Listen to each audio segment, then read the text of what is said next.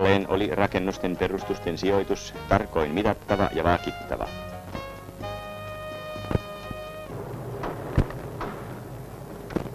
Raudottajien päästyä työhön hahmottui reaktorikuopan pohjalla nopeasti vahva peruslaatta.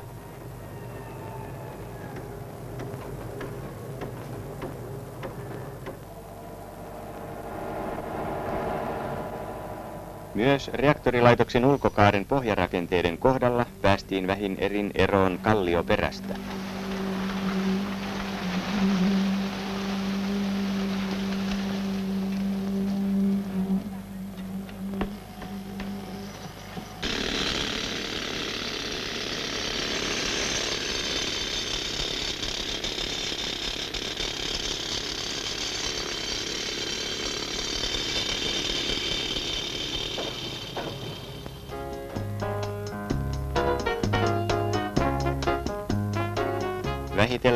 Vähitellen reaktorilaitos saa tunnusomaisia piirteitä.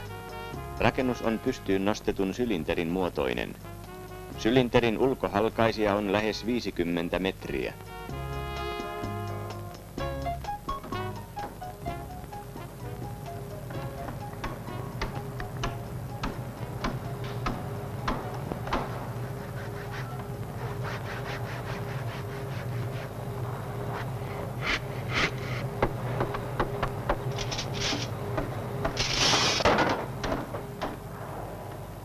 Kun oli päästy kolmen metrin korkeuteen merenpinnan tasolta, oli aika asentaa ulkoseinille liukuvalumuotit. Tältä tasolta harjaan aina runsaan 62 metrin korkeuteen saakka ulkoseinät valettiin liukuvalulla. Suuren halkaisijan vuoksi tämä oli eräs maailman tähän mennessä suurimmista liukuvalutöistä.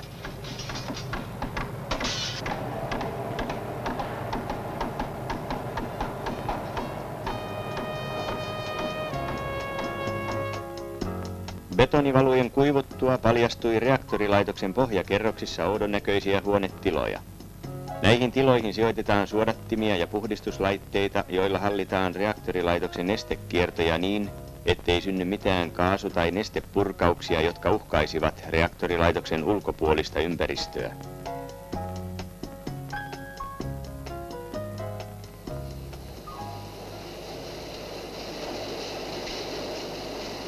Alkoi jännittävä kilpajuoksu Pohjolan karua luontoa vastaan. Ehtisivätkö rakentajat harjakorkeuteen ennen syysmyrskyjä ja pakkasia? Kahdessa viikossa noustiin 40 metrin korkeuteen, mutta nyt saatiin tuta syysmyrskyistä.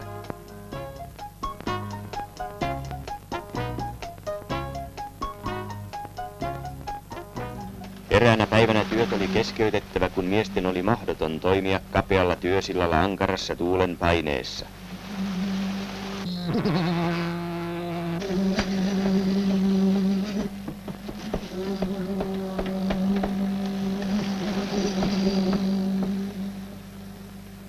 Pian päästiin kuitenkin jälleen eteenpäin.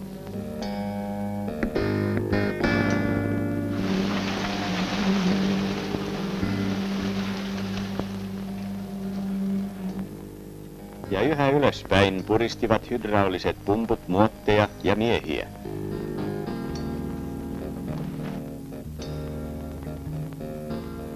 Saarelle rakennetussa betonilaboratoriossa elettiin kiireistä aikaa. Valut jatkuivat keskeytyksettä yötä päivää, ja laboratorion oli kaiken aikaa valvottava käytettävän betonin laatua.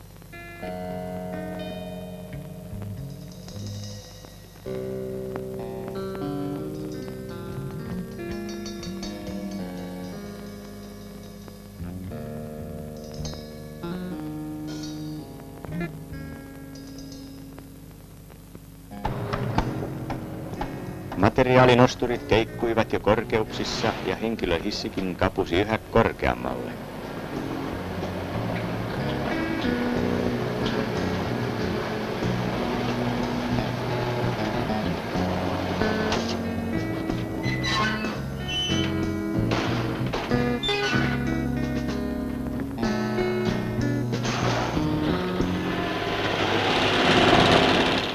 Kunnes eräänä päivänä vain 22 työpäivän jälkeen oli saavutettu harjakorkeus.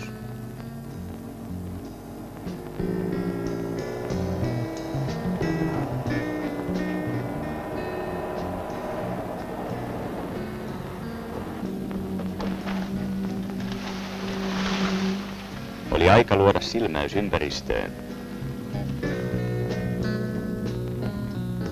Ja sisään.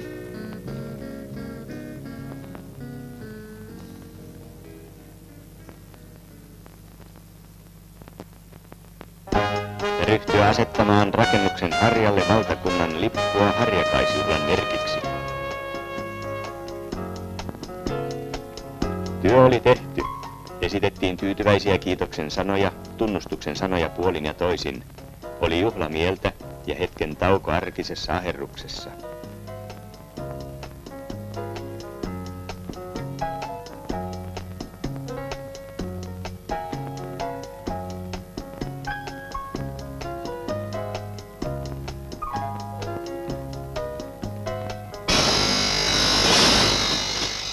Mutta pian oli palattava työn aherrukseen nyt reaktorilaitoksen sisällä. Laitoksen voiman pesä, lämpöä kehittävä reaktori, jossa radioaktiivinen säteilytys tapahtuu, sijoitetaan keskiössä hahmottuvaan kuoppaan.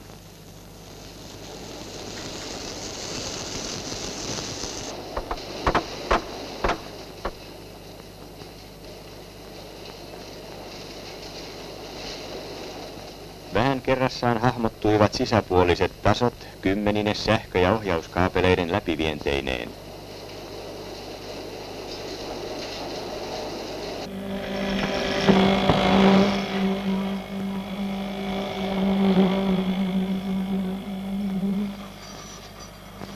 Myös yli 13 metriä korkean reaktorin sijoituskuoppa hahmottuu yhä selvemmin.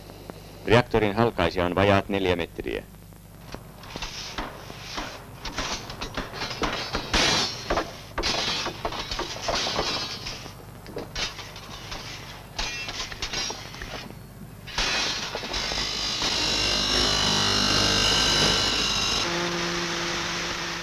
Vihdoin ollaan tässä vaiheessa suoritettavien betonitöiden loppusuoralla 10 metrin tason jykevän lattian betonivalussa. Tämän tason varaan rakennetaan kaasutiivis teräskupu, jonka sisään tulee reaktorin yli 200 tonnia painava paineastia sekä kuusi lämmönvaihdinta, joissa turbiineihin ohjattava höyry kehitetään reaktorista saatavalla lämminvesikierrolla. Kupuun käytetään teräksiä noin 1500 tonnia.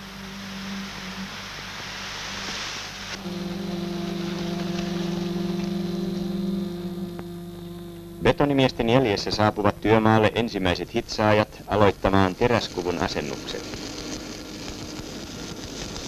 Ensimmäiseksi suoritetaan kuun ankkurirenkaan osien päikkäishitsaus. Sitten asennetaan lattian raudatukseen kiinnityspulttien hylsyt. Ankkurirengas kiinnitetään lattiatasoon jykevillä miehen ranteen vahvuisilla pulteilla. Niitä on kaikkiaan 576 kappaletta.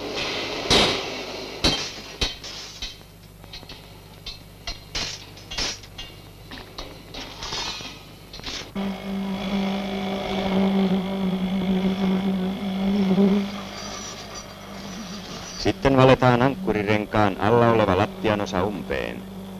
Työmaa voidaan jättää vuodeksi teräsmiesten haltuun.